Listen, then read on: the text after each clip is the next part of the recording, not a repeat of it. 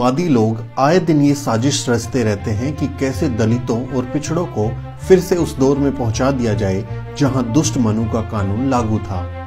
दलितों और पिछड़ों को पढ़ने लिखने से लेकर उन्हें नौकरियाँ हासिल करने से रोकने तक पूरी की पूरी मनुवादी व्यवस्था एक्टिव हो जाती है। देश की यूनिवर्सिटीज में दलित, आदिवासी और पिछड़ों के पढ़े लिखे नौजवान प्रोफेसर्स के पदों तक ना पहुँच सके, इसके लिए तरह तरह के हथकंडे अपनाए जाते हैं।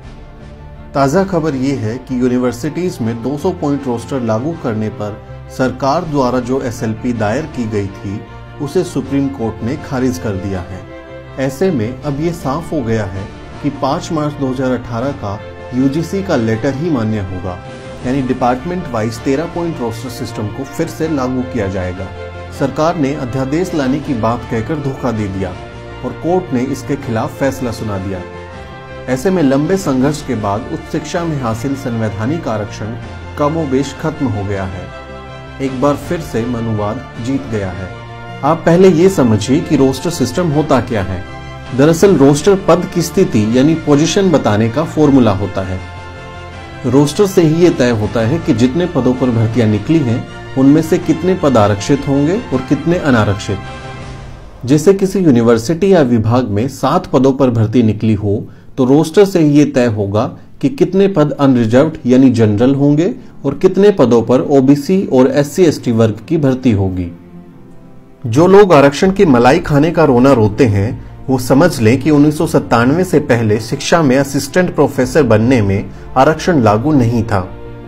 2 जुलाई उन्नीस सौ सत्तानवे में जब उच्च शिक्षा में असिस्टेंट प्रोफेसर बनने के लिए एससी और एसटी के लिए आरक्षण का प्रावधान आया तो सभी अनरिजर्व पदों में, आरक्षित पदों के निर्धारण के लिए सबसे पहले 40 पॉइंट रोस्टर सिस्टम बनाया गया। इस रोस्टर में कुल 40 पद में 15 परसेंट एस और साढ़े सात फ़ीसदी एसटी के लिए पद निर्धारण की व्यवस्था को ही 40 पॉइंट रोस्टर कहा गया। लेकिन इसे भी कोर्ट ने बाद में रद्द कर दिया। 2007 में जब उच्च शिक्षा में ओबीसी आरक्षण लागू हुआ तो 200 पॉइंट रोस्टर सिस्टम बनाया गया। पोस्ट बेस्ड रोस्टर में संस्थान को एक इकाई मानने से संख्या अधिक होने पर 200 पॉइंट रोस्टर सिस्टम बनाया गया। 200 होने के पीछे का कारण 7.5 फ़ीसदी एस आरक्षण को 15 परसेंट के राउंड फिगर में करने के लिए बेस को 100 से दुगुना करके 200 किया गया। यानी अनुपातिक आधार पर 200 पद होने पर 7.5 फ़ीसदी के लिए पदों का निर्धारण आया कि प्रत्येक चौदवा पद एसटी को जाने से 200 पदों में साढ़े सात फ़ीसदी आरक्षण के मुताबिक पद मिल जाएँगे। इसी प्रकार प्रत्येक सातवां पद एससी को मिलेगा, जिससे 200 पद पूरे होने से एससी को निर्धारित 15 फ़ीसदी आरक्षण मिल जाएगा। और प्रत्येक चौथे पद को ओबीसी को देते हुए 200 पद पूरे होने पर ओबीसी को 27 फ़ीसदी आरक्षण मिल सकेगा। यहाँ तक तो ठीक था, लेकिन बीएचयू के एक शोध छात्र की पहल पर इलाहाबाद हाईकोर्ट की एकल बेंच ने यह फैसला सुनाया कि यूनिवर्सिटी या कॉलेज में विभागवार रोस्टर लागू होगा, जिसे 13 पॉइंट रोस्टर सिस्टम भी कहा गया। इसके बाद 5 मार्च 2018 को यूजीसी ने एक पत्र जारी कर कह दिया कि अब 200 पॉइंट रोस्टर की जगह 13 पॉइंट रोस्टर सिस्टम लागू होगा। अब जरा ये समझिए कि ये 13 पॉइंट रोस्टर सिस्टम क्या है। अगर 13 पॉइंट रोस्टर सिस्टम लागू होगा तो रोस्टर क्रम और पदों के आरक्षण की रोस्टर सूची इस प्रकार होगी। पहला पद अनरिजर्व होगा, दूसरा पद भी अनरिजर्व होगा, और तीसरा पद भी अनरिजर्व होगा। उसके बाद चौथे पद पर ओबीसी का नंबर आएगा, लेकिन पांचवा पद फिर से अनरिजर्व हो जाएगा। छठा पद भी अनरिजर्व होगा। इसके बाद सातवें पद पर शेड्यूल्ड कास्ट के कैंडिडेट का नंबर आएगा। इसके बाद आठवां पद ओबीसी कैंडिडेट के लिए आरक्षित होगा, लेकिन नौवा पद फिर से अनरिजर्व हो जाएगा। इसके बाद दसवां पद और ग्यारहवा पद भी अनरिजर्व होगा। इसके बाद बारहवें पद पर ओबीसी कैंडिडेट का नंबर आएगा, लेकिन तेरहवा पद फिर से अनरिजर्व हो जाएगा। चौदहवें पद पर शेड्यूल कास्ट के कैंडिडेट का नंबर आएगा, यानी शेड्यूल कास्ट के कैंडिडेट को तभी नौकरी मिलेगी जब एक साथ चौदह वैकेंसी किसी पोस्ट पर निकलेंगी। अब जरा डिपार्टमेंट वाइज रोस्टर सिस्टम का खेल समझिए।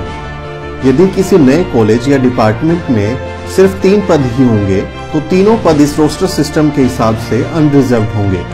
ये खेल सबसे खतरनाक है, क्योंकि इसमें डिपार्टमेंट वाइज रोस्टर बनाने से हमेशा के लिए आसानी हो जाएगी कि हर विभाग में तीन या तीन से कम पदों को ही विज्ञापित किया जाए। इस हिसाब से आरक्षित पदों का नंबर तो कभी आएगा ही नहीं। डिपार्टमेंट वाइज रोस्टर का दूसरा खेल समझिए यदि किसी विभाग में कुल पंद्रह पद स्वीकृत होंगे, तब जाकर वितरण कुछ इस प्रकार होगा। एक पद एसटी को मिलेगा, दो पद एससी को मिलेंगे, तीन पद ओबीसी को मिलेंगे और नौ पद अनरिजर्व कैटेगरी के हिस्से में चले जाएँगे। इस हिसाब से पंद्रह में से सिर्फ़ छह पद आरक्षित होंगे, यानी आरक्षण सिर्फ़ चालीस परसेंट लागू होगा। यानी संवैधानिक आरक्षण तो कभी लागू हो ही नहीं पाएगा। अब इस विभागवार रोस्टर का तीसरा और सबसे खतरनाक खेल देखिए। माना कि पुराने हिंदी विभाग में कुल 11 पद स्वीकृत हैं, जिनमें से आठ पदों पर आरक्षण लागू होने से पहले ही नियुक्तियाँ हो चुकी हैं, तो ये सभी सवर्ण यहाँ पढ़ा रहे हैं। अब आरक्षण लागू किया गया तो इन आठ में से चौथा और आठवां पद ओबीसी को और सातवां पद शेड्यूल कास्ट को जाएगा जिस पर पहले से ही कोई सवर्ण पढ़ा रहा है। नियम के हिसाब से ये तीनों पद शॉर्टफॉल में जाएँगे और अगली नौकरियों के विज्ञापन में नौवा दसवां और ग्यारहवा तीनों पद शॉर्टफॉल को पूरा करेंगे। लेकिन देश के हर विश्वविद्यालय में मनुवादियों ने शॉर्टफॉल को लागू ही नहीं किया। और ये नियम बना दिया गया कि चौथे, सातवें और आठवें पद पर जो सवर्ण काम कर रहे हैं, जब वो रिटायर हो जाएँगे, तब जाकर इन पर आरक्षित वर्ग की कोटे की नियुक्ति होंगी। यानी शॉर्टफॉल लागू न करके सीधे सीधे हज़ारों आरक्षित पदों पर सवर्णों को बिठा दिया गया। अंतिम साजिश ये है कि किसी यूनिवर्सिटी या कॉलेज में अगर उन्नीस सौ सत्तानवे के बाद से एस सी और 2007 के बाद से ओबीसी की कोई नियुक्ति नहीं हुई है और पहली बार अगर 2019 में विज्ञापन आया है तो इस बीच के पदों में जो बैकलॉग होगा, उसे पहले भरा जाएगा। लेकिन जब रोस्टर ही डिपार्टमेंट वाइज बनेगा तो ना तो शॉर्टफॉल लागू होगा और ना ही बैकलॉग भरा जाएगा। यानी मनुवादियों ने मिलकर ये साजिश रची है कि दलितों, आदिवासियों और पिछड़ों के बच्चों को किसी यूनिवर्सिटी में टीचर बनने से रोक दिया जाए। वहीं दूसरी तरफ़, सवर्णों के लिए आर्थिक आधार पर 10 फ़ीसदी आरक्षण देने के लिए मनुवादियों ने संविधान ही बदल डाला। शीतकालीन सत्र के आखिरी चंद घंटों में बिल पास हो गया और चंद दिनों में ही राष्ट्रपति ने कानून को मंजूरी दे दी। महज 48 घंटों में गुजरात सरकार ने आरक्षण लागू भी कर दिया। लेकिन एस सी और ओबीसी को मिले संवैधानिक आरक्षण को लागू होने में सालों लग गए। आधा अधूरा आरक्षण लागू हुआ भी तो उसे मनुवादियों ने मुकदमेबाजी में उलझा दिया। पिचासी फ़ीसदी आबादी के हक को मारने के लिए कितना बड़ा खेल चल रहा है, ये वक्त रहते आपको समझना होगा। आप देख रहे हैं द शूद्र। बहुजन समाज से जुड़ी तमाम खबरों को जानने के लिए सब्सक्राइब करें हमारा चैनल और बेल आइकन को प्रेस करना ना भूलें ताकि हमारे तमाम वीडियो की जानकारी सबसे पहले आप तक पहुँच सके।